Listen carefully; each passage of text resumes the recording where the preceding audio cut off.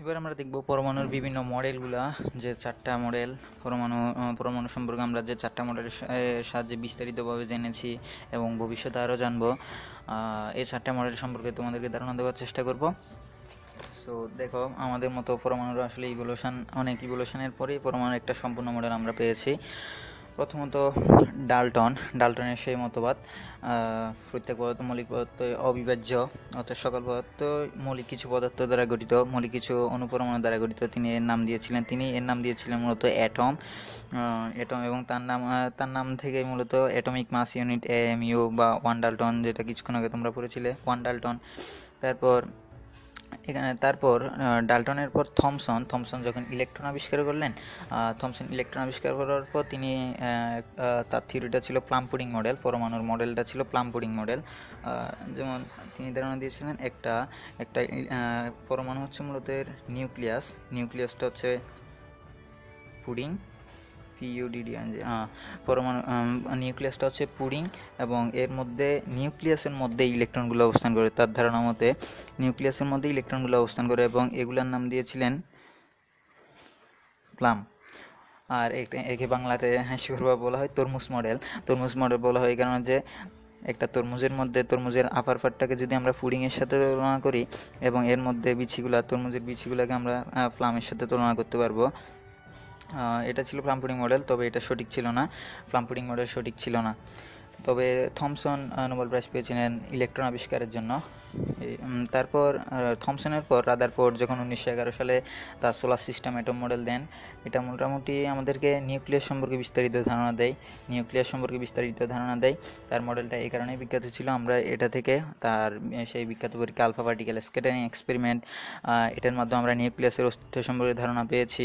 তারপর এটা থেকে অনুপ্রাণিত হয়ে মূলত বোর তার মডেলটা প্রস্তাব করেছেন। আচ্ছা আমরা এরপর একটু দেখি রাদার রাদারফোর্ড কীভাবে তার আলফা পার্টিকেল স্কেটারিং এক্সপেরিমেন্ট করেছিলেন।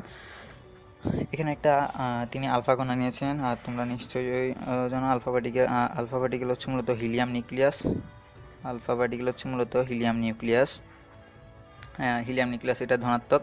যখন একটা আলফা পার্টিকেলকে গোল্ড ফয়েলের মধ্যে ফেলা হয় গোল্ড ফয়েলে ফেলা হলে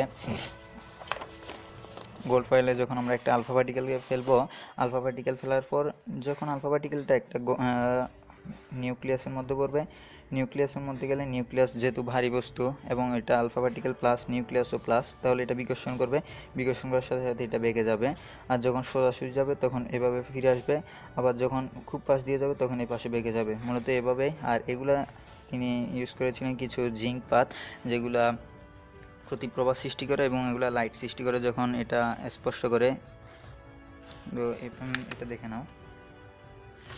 হ্যাঁ তারপর রাদারফুডের মডেল রাদারফুডের মডেল অনেক সীমাবদ্ধতা ছিল এবং কিছু ভুল ছিল। সেই ভুলগুলো শুধরে বোর উনিশশো তেরো সালে তার মডেল প্রস্তাব করেন।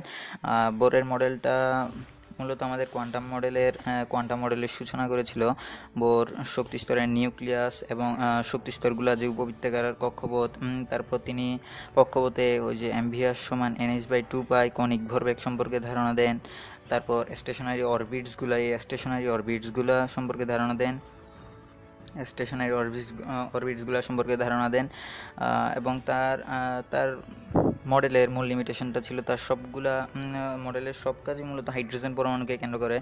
আর একটা তথ্য হচ্ছে বোর মূলত রাদারফোর্ডের পরীক্ষাগারেই কাজ করতেন এবং তার পরীক্ষার সমূহ বিশ্লেষ ফলাফল সমূহ বিশ্লেষণ করে বোর এবং কোয়ান্টাম মডেল ম্যাক্স প্লাঙ্কের তড়িৎচুম্বকত্বের সমন্বয় করে তার মডেলটা প্রস্তাব করেন। এবং বোরের পরে মূলত আমাদের পরমাণুর সম্পূর্ণ রূপটা পাই। যখন স্ট্রডিঞ্জার ইলেকট্রন ক্লাউড মডেল প্রস্তাব করেন ইলেকট্রন ক্লাউড ক্লাউডগুলো হচ্ছে মূলত এগুলাই। এগুলো হচ্ছে ইলেকট্রন ক্লাউড ইলেকট্রন ক্লাউড। আর ক্লাউডের বিশেষত্ব হচ্ছে এখানে ক্লাউডগুলোতে ইলেকট্রন অবস্থানের সম্ভাবনা হচ্ছে নাইনটি থেকে নাইনটি ফাইভ পার্সেন্ট আর কোয়ান্টাম মেকানিক্যাল মডেলের মতে ইলেকট্রন আসলে বাস্তবে এরকম কোনো আমরা এরকম যে কক্ষপথ আঁকি, এরকম কোনো কক্ষপথই নেই। কক্ষপথ নেই, কিন্তু এখানে ম্যাগের মতো কিছু স্থান আছে যেগুলোতে ইলেকট্রন প্রাপ্তির সম্ভাবনা খুব বেশি। এগুলাই হচ্ছে সেই ইলেকট্রন ম্যাগগুলা এবং ইলেকট্রনগুলো এখানেই থাকার সম্ভাবনা বেশি। আর এইটা এগুলো হচ্ছে তোমাদেরকে ব্যান্ড থিওরিতে যেটা বলেছিলাম, নিষিদ্ধ ব্যান্ড, নিষিদ্ধ ব্যান্ডের সেই স্পেসটা আর এখানে ইলেকট্রনগুলো মূলত চলাচল করে বিভিন্ন অরবিটাল, বিভিন্ন অরবিট, এভাবে কক্ষপথ আকারে চলাচল করে। তো এটা হচ্ছে কোয়ান্টাম মেকানিক্যাল মোড। আর কোয়ান্টাম মেকানিক্যাল মোডে পূর্ণতা পাই যে হাইজেনবার্গের সমীকরণ, তারপর স্ট্রডিঞ্জারের তরঙ্গ সমীকরণ, ব্রগলির তরঙ্গ মতবাদ স্ট্রডিঞ্জারের তরঙ্গের বিশেষত্ব হচ্ছে তিনি পরমাণু ত্রিমাত্রিক ত্রিমাত্রিক মডেলই প্রস্তাব করেন এক্স ওয়াই জেড তিনটা ফ্যাক্টর নিয়ে। তারপর সাই ওয়েভ ফাংশন নিয়ে তিনি অনেক জটিলভাবে পরমাণুর মডেল প্রস্তাব করেন। তো এ চারটা হচ্ছে পরমাণুর মূল মডেল রাদারফোর্ডের মডেল প্লাম পুডিং মডেল তারপর Thomson plum pudding model বোরের model quantum mechanical model so এটাই।